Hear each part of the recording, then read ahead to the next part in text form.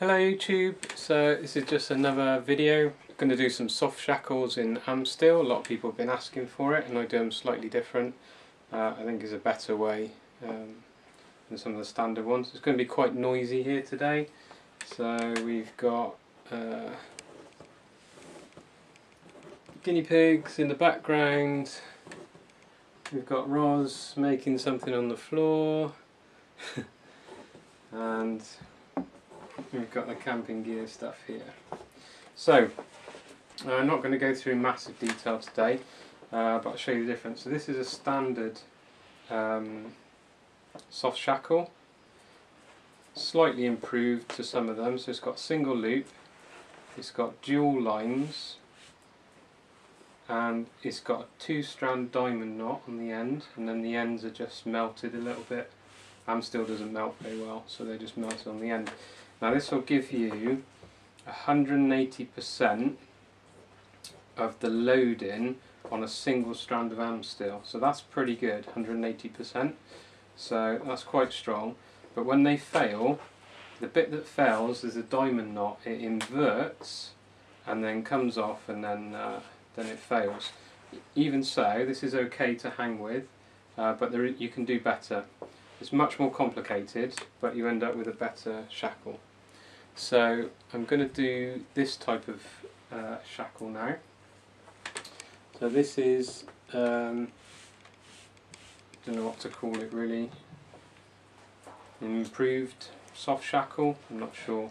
So to stop the knot inversion at the end, we create some special loops and there's a bury inside here of two inches past the end of the knot so all the ends are inside so there's no way this knot can invert. It's uh, completely stable.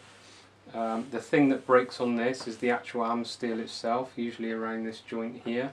Um, but this is now 230% strength of a single Amsteel strand.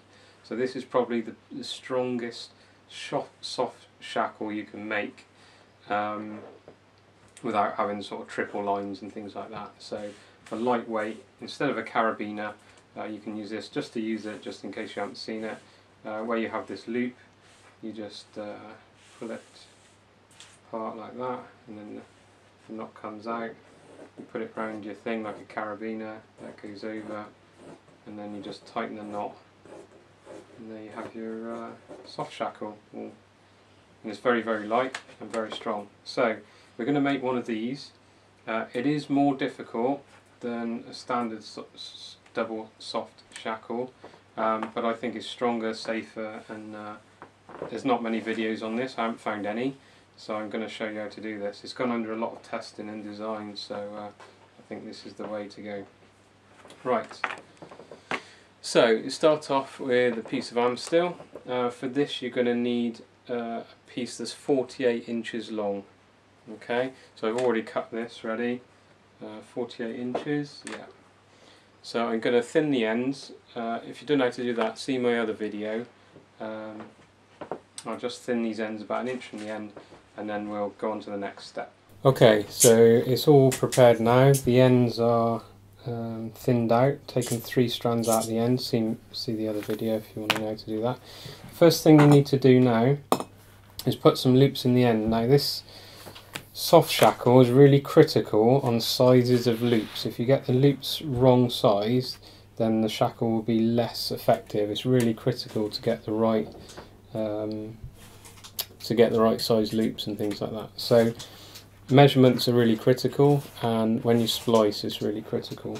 So first of all, we need to measure. Uh, we need a six-inch bury, and then a tiny loop, and the loop has to be big enough for two um, thicknesses of Amsteel with a bury in. So a little bit more than two. So what you do, one end measure uh, six inches, make a mark, and then put another mark at eight inches. So you've got six inch bury, two inches to make your tiny loop, which is enough for two strands with buries in. So go to your second mark, Again, this is super critical that you don't trap any strands and things like that. Make a hole. There you go. Through the hole. Put your end through the hole. Like that. Until your first mark appears. There it is. So open up this one. To do it for the camera. Very tricky. There. Same amount of threads on both sides. Now you have to feed the whole lot, the long end through. Making sure no twists. And it's coming up now to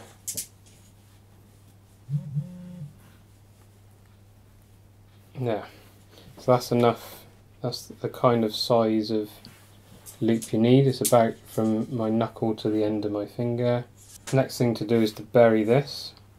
Bury this end here. So you take it all the way along, inch and a half past the end, open it up, take your fish tool, whichever one you're using, put it in. Take your fish tool, put it in, push it all the way through.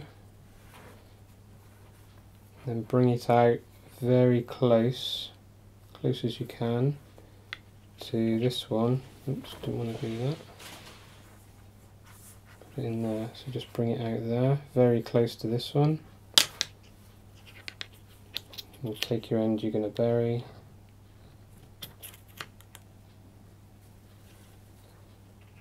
Put that in and then fish it through. Quite easy. Take your loop, pull it tight, and milk the bury, and that will make that disappear, and that's long enough now for what we need. That's the size of loop that we need, tip of your finger. Now I'm going to go ahead and do that in the other end. Okay, so I won't bore you with that, I'll just get on and do that. So now we have the loops in both ends. On one continuous piece and it's exactly 32 and a half inches. If you want to check it see if you've got it right. And this next step is really critical. You get the two ends and you line them up exactly. And you find the middle. Once you find the middle you got to come down from there enough for two layers same size loop as these okay? So I'm going to come down about let's measure it just over half an inch. We're going to go in there okay? If it's too big it won't work. Put it in take the longer end, push that through. So now you have two loops at the bottom and then you have a loop at the top which is just a little, I don't know what you call it, just a little adjustable loop at the top.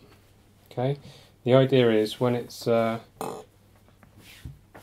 when these two loops are exactly the same and the the cord is straight, you end up with a loop at the end that's nice and tiny. If that's too big, it could slip off. So that's really important. Okay, nearly there now. So you take your two ends with the two loops in, you do an overhand knot. I can show you, just easy overhand knot like that. And then you dress the knot so there's no twisted lines, everything's parallel Okay, no twists at all. You've got your two loops up there. Open your loops a little bit and then you take your end that you just made here and you pass this through the two loops all the way down. Now you have to fiddle this to tighten up this knot.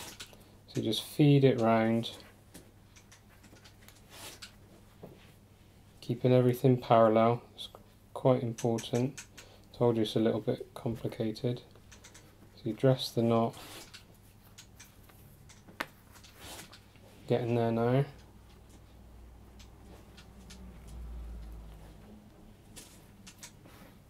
Then eventually you take each one, pull each one, and you take them both,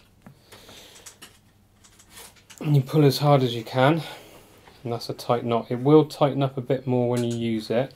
So what you have now is an overhand knot with two loops going through the original and the buries go all the way around the knot through the end and you end up with about a two inch bury here. That's really important. Okay?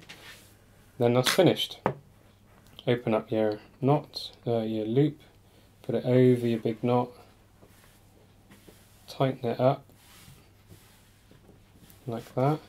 And what you should get is when it's tight these loops should be the same yeah one's not shorter than the other it's exactly the same and then you've got an even load of tension on both strands uh, and that gives you strength. So this is now 230% stronger than a single strand of Amsteel and that knot is not going to fail.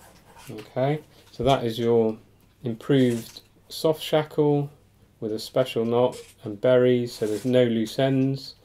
Uh, it's very strong and that's my recommendation for a soft shackle. If you want to have a go, please do. Um, I'm going to try and make some out of Lash-It as well, which is a lot thinner, so it'd be a lot harder, but it'd be good fun. So there you go. Bye.